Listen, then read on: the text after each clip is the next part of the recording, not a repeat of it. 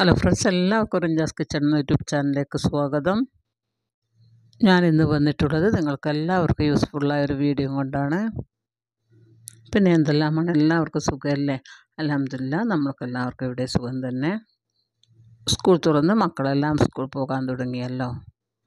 ചെറിയ കുട്ടികളുള്ളവർക്കും ജോലിക്ക് പോകുന്ന അമ്മമാർക്കും ഉമ്മമാർക്കും അതേപോലെ തന്നെ മുതിർന്ന കുട്ടികൾ സ്കൂൾ പോകുന്നവർക്കും അവർക്കെല്ലാം വേണ്ടിയുള്ളൊരു വീഡിയോ ആണ് ഞാൻ ഇന്നത്തെ എന്റെ വീഡിയോ കൂടാതെ ഒരു ഹെൽത്തിയും ടേസ്റ്റിയുമായ ലഞ്ച് റെസിപ്പിയും ഇതിൽ അപ്ലോഡ് ചെയ്യുന്നുണ്ട്.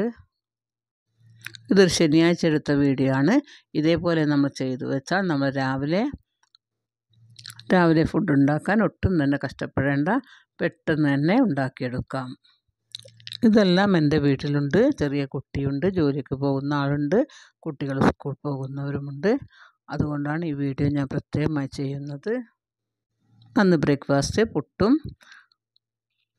തലേന്ന് രാത്രിത്തെ ബീഫ് കറിയും ഉണ്ടായിരുന്നു. പിന്നെ ക്ലീനിങ് എല്ലാം കഴിഞ്ഞതിന് ശേഷമാണ് വെജിറ്റബിൾസ് എല്ലാം കട്ട് ചെയ്യാൻ വേണ്ടി നിന്നത്. ചെറിയുള്ളി വെളുത്തുള്ളി ഇതെല്ലാം തൊലി കളഞ്ഞെടുത്തു.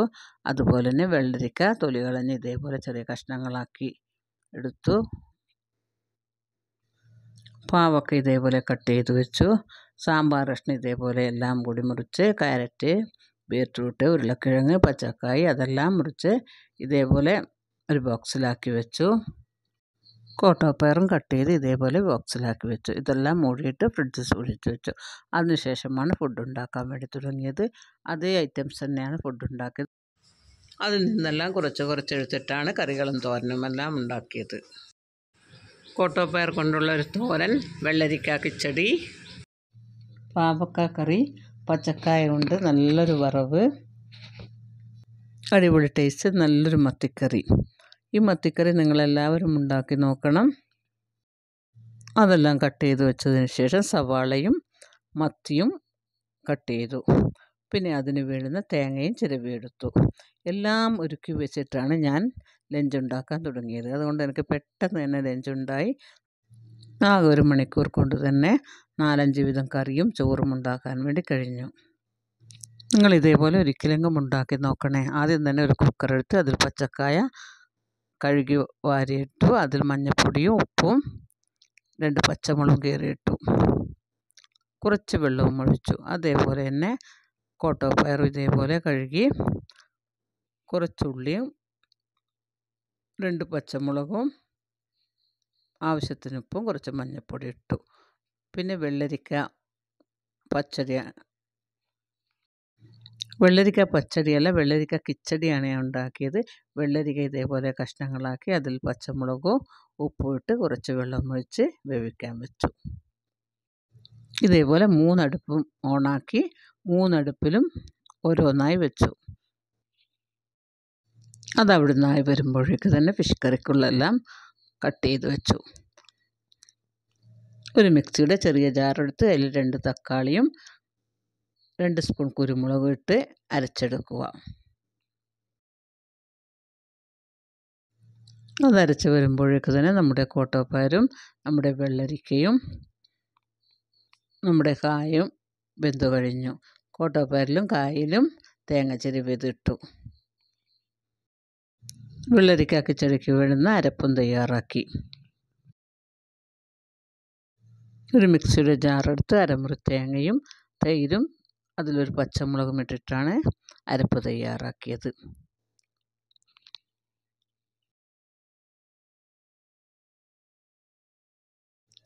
ആ അരപ്പ് വെള്ളരിക്കയിലൊഴിച്ച് ആവശ്യത്തിന് ഉപ്പും ഇട്ട് കൊടുത്തു.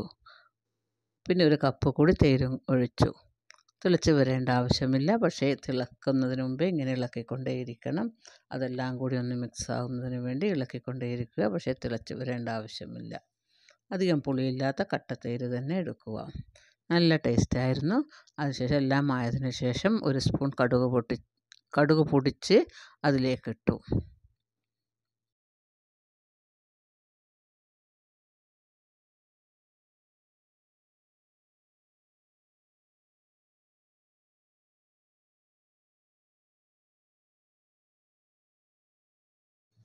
കടുക് പൊടിച്ചതും ഇട്ട് അവിടെ അടച്ചു വെക്കുക. അതിനുശേഷം നമുക്ക് പാവക്കാക്കറി കറി ഉണ്ടാക്കാം.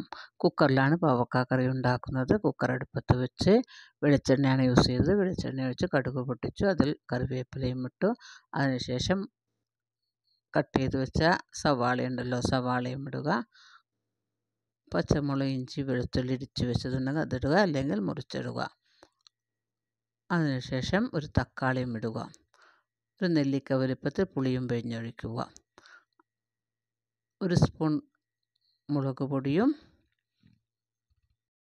കാ ടീസ്പൂൺ മഞ്ഞൾപ്പൊടി ഒരു ടീസ്പൂൺ മല്ലിപ്പൊടിയും ഇടുക. ആവശ്യത്തിന് ഉപ്പും ഇടുക. പുളി പിഴിഞ്ഞൊഴിച്ച വെള്ളമുണ്ടല്ലോ അതിലേക്ക്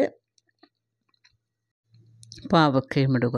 ഒരു മൂന്ന് വിസിൽ വരുന്നത് വരെ കുക്കർ ഓണാക്കുക കുക്കർ അടച്ച് വെച്ച് ഒരു മൂന്ന് വിസിൽ വരുന്നത് വരെ വെയിറ്റ് ചെയ്യുക. ആ ടൈമിൽ തന്നെ വേറൊരടുപ്പിൽ നമുക്ക് ഫിഷ് കറി ഉണ്ടാക്കാം. മൺചട്ടിയിലാണ് ഉണ്ടാക്കുന്നത്. ഈ കറി മൺചട്ടിയിൽ തന്നെ ഉണ്ടാക്കണം. എന്നാൽ നല്ല ടേസ്റ്റ് ഉണ്ടാവുകയുള്ളൂ. മത്തിയെല്ലാം ക്ലീൻ ചെയ്ത് വെച്ചിരുന്നു. ഇതാണ്. കുറച്ച് വില കൊടുത്താൽ നല്ല മത്തി തന്നെ കിട്ടിയിരുന്നു. മൺചട്ടി അടുപ്പത്ത് വെച്ച് ചട്ടി ഒന്ന് ചൂടായാൽ കോക്കനറ്റ് ഓയിലാണ് യൂസ് ചെയ്ത് കോക്കനറ്റ് ഓയിൽ ഒഴിക്കുക. അതിനുശേഷം ചെറിയുള്ളിയും വെളുത്തുള്ളിയും ഇടുക. ഇതിൽ സവാളന്റെ ആവശ്യമില്ല.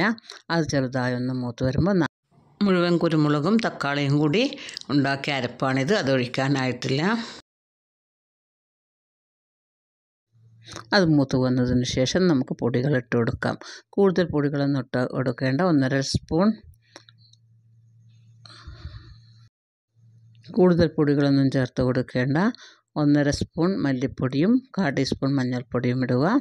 അത് ചെറുതായി ഒന്ന് മൂത്ത് വന്നാൽ നാം ഉണ്ടാക്കി വെച്ച അരപ്പുണ്ടല്ലോ അതും അതിലേക്ക് ഒഴിക്കുക. മൺചട്ടിയാണ് പൊടിയിടുമ്പോൾ തീ കുറച്ച് വെക്കണം.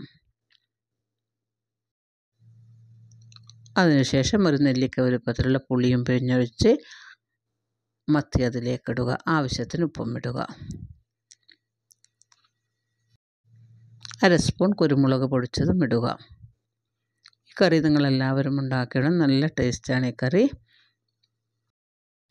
ഫിഷ് കറി ആയി വരുമ്പോഴേക്ക് തന്നെ നമ്മുടെ പാവക്ക കറിയും ആയി.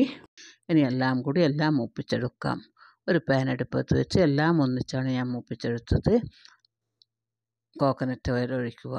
അതിനുശേഷം അതിൽ വറ്റമുളകും കറിവേപ്പിലയും കടുകും ഇട്ട് പൊട്ടിക്കുക.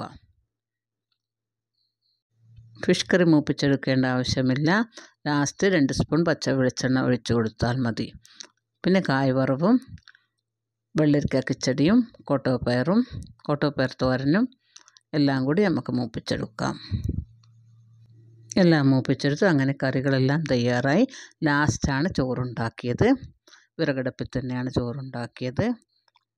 ഇതെല്ലാം ആയതിന് ശേഷം തന്നെ നമുക്കൊരു സമാധാനമായി അതിനുശേഷം പിന്നെ ചോറല്ലേ ഉണ്ടാക്കേണ്ടത്. പിന്നെ ചോറും ഉണ്ടാക്കി ക്ലീനിങ് ആദ്യം ചെയ്തുവല്ലോ. പിന്നെ ഫുഡ് ഉണ്ടാക്കിയ ശേഷം എല്ലാം ആദ്യം ക്ലീനിങ് എല്ലാം ഉണ്ടായിരുന്നു. കുറേ പാത്രങ്ങൾ കഴുകാനുണ്ടായിരുന്നു. അങ്ങനെ പാത്രങ്ങളെല്ലാം ക്ലീൻ ചെയ്ത് ഒന്നും കൂടി കിച്ചൺ ക്ലീൻ ചെയ്ത് അങ്ങനെ ഒരു മണിയാകുമ്പോഴേക്ക് തന്നെ ലഞ്ച് റെഡിയായി പിന്നെ ഞാൻ കട്ട് ചെയ്ത് വെച്ച വെജിറ്റബിൾസ് എല്ലാം ഉണ്ടല്ലോ അതെല്ലാം ഫ്രിഡ്ജിലേക്ക് എടുത്ത് വെച്ചു. അത് ഓരോ ദിവസം ഓരോന്നായി എടുക്കുകയാണ് ചെയ്യുക. അതിന്റെ കൂടെ വേറെ എന്തെങ്കിലും ഫിഷ് കറിയോ എന്തെങ്കിലും കറിയും ഉണ്ടാക്കും. അങ്ങനെയാണ് ചെയ്യുക. അങ്ങനെ ഉണ്ടാക്കി വെച്ചാൽ നമുക്ക് രാവിലെ നല്ല തിരക്ക് ആക്കേണ്ട ആവശ്യമില്ല. എല്ലാം പെട്ടെന്ന് പെട്ടെന്ന് തന്നെ ആവും. ഇനിയൊരു പുതിയൊരു വീഡിയോ ആയി വരുന്നതുവരെ അസ്സലാമു അലൈക്കും. എല്ലാവരും വീഡിയോ ഫുൾ കണ്ട് സപ്പോർട്ട് ചെയ്യുക.